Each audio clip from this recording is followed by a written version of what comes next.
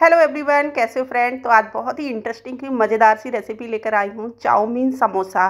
घर में गेस्ट आए आप ये चाउमीन समोसा बनाइएगा। आलू के समोसे खा खा के हो चुके हैं बोर। तो ये चाउमीन समोसा बहुत ही स्वादिष्ट बनता है, खाने में इतना टेस्टी है, इनका डिफरेंट टेस्ट है और बनाने में भी बहुत आसान है। तो हमेशा आप दूसरे तरीके के समोसे खाते हैं। बारिश का मौसम चल रहा है तो बारिश के मौसम में ये तली भुली चीज़ें बहुत ही ज़्यादा टेस्टी लगती हैं।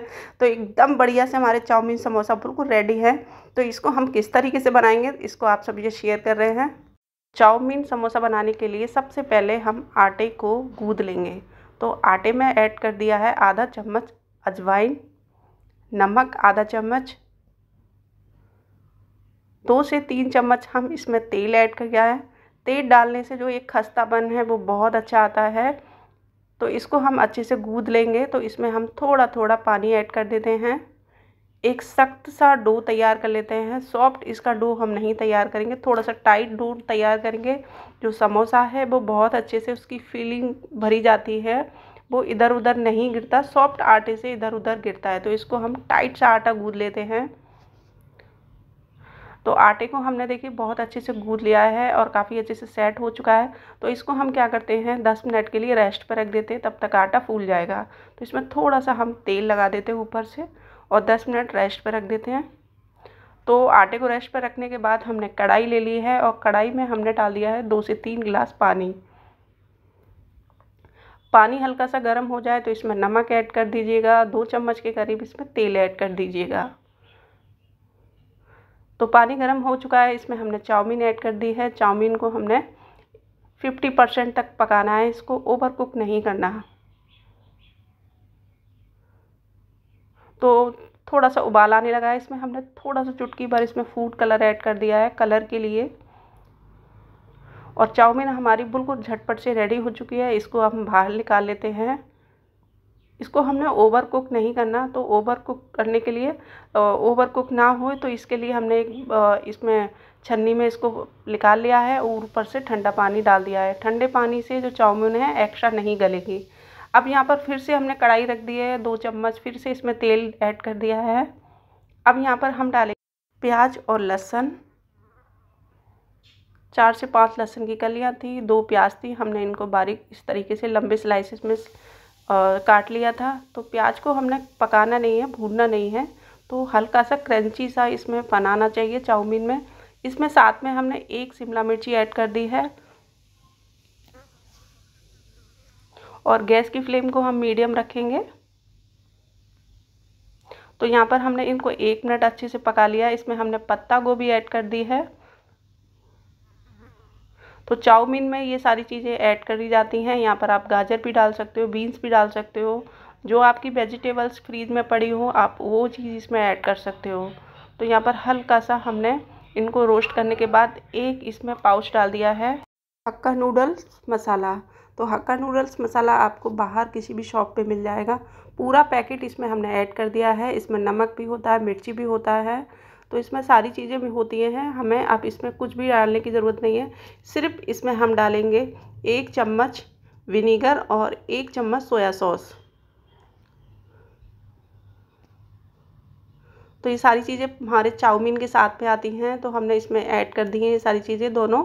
तो एक चम्मच हमने इसमें विनीगर ऐड किया है, एक चम्मच सोया सॉस।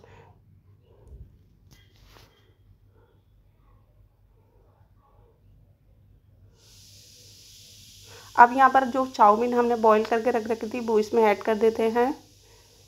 नमक, मिर्ची आप अब चेक कर लीजिएगा। अगर थोड़ा सा तीखा खाना पसंद करते हो तो थोड़ा सा यहाँ पर मिर्ची ऐड कर सकते हो, नमक भी ऐड कर सकते हो। तो यहाँ पर आप थोड़ा सा चेक कर लीजिएगा। मुझे ऐसा लगा था कि इसमें नमक, मिर्ची डालने की कोई ज़रूरत नहीं है तो मैंने इसमें कुछ भी ऐड नहीं किया था। जो मसाले में चीज़ें थी, वो ही मैंने ऐड की थी और इसको अच्छे से हमने चला लेना है।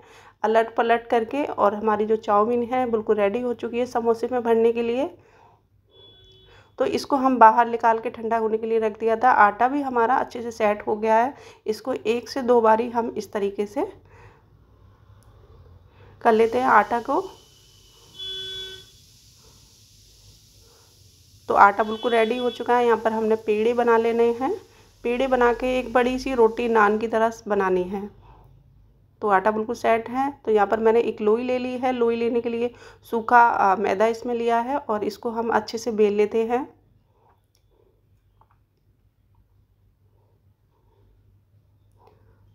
तो ध्यान दीजिएगा, इसमें रोटी है थोड़ी सी नान की तरह लंबी बेलनी है। इसको हमने गोल रोटी नहीं बेलनी तो थोड़ा सा इसको बेलने के बाद बड़ी रोटी बना लेना। बड़ी के बाद थोड़ा सा लंबा कर देना इसको। देखिए, इस तरीके से अब यहाँ पर आपने चक्कू लेना है। चक्कू से आप में बीच में से आधे भाग में इस, काट लेना है इसको। अब यहाँ पर आप जो कटी हुई साइड है, इस तरीके से आपने फ़ोल्ड करनी है। तो फोल्ड करने के लिए पहले हल्का सा यहाँ पर पानी लगाना, अच्छे से चिपक जाएगा समोसा तो इसको फीलिंग्स बाहर नहीं निकलेगी फीलिंग। तो यहाँ पर इस तरीके से इसको बंद कर देना है।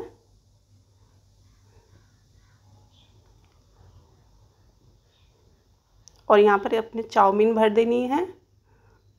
बहुत अच्छे से भर लेना काफ़ी अच्छे से मैंने इसको दबा दबा के इसमें चाउमीन भर ली है।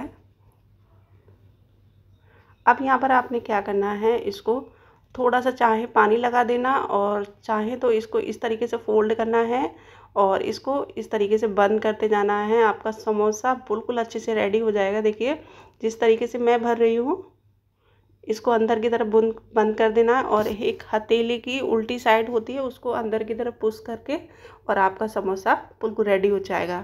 तो यहाँ मैं आपको और एक और भी दिखाती हूँ।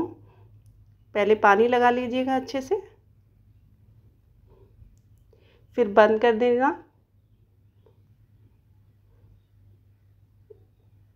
और फिर इसमें आप चाउमीन भर देना।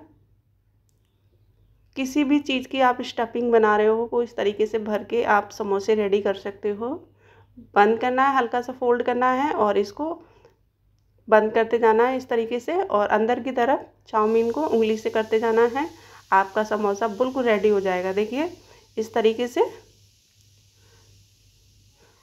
तो पहले चार से पाँच समोसे बना के रख लीजिएगा, इनको थोड़ा सा में टाइम लगता है। तो यहाँ पर मैंने तेल को हल्का सा गर्म किया है। हल्का सा हाई फ्लेम पे हमने तेल जो है ना, रखना नहीं है मतलब गर्म नहीं करना और फ्लेम भी आपने स्लो रखनी है। हल्की हल्की सी बबल्स आने लग जाए, तब आपने ये इसमें समोसे डाले हैं। जब भी खस्ता होंगे इसमें समोसे तो आप ऊपर से इसमें तेल इस तरीके से करते जाना। चम्मच की सहायता से मैंने इसमें चार समोसे ऐड कर दिए थे।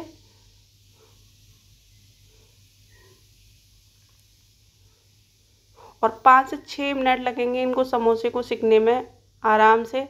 तो जब आपका थोड़ा सा हल्का सा नीचे से सिकने लगे तो आप इनकी साइड चेंज कर दीजिएगा।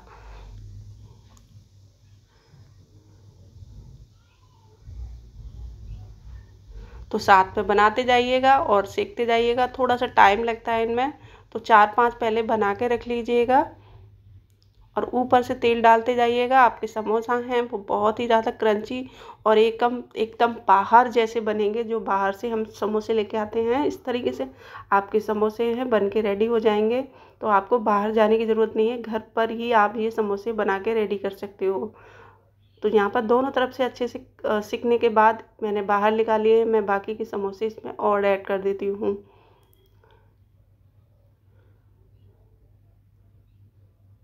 गैस की फ्लेम को मैंने स्लो कर दिया है।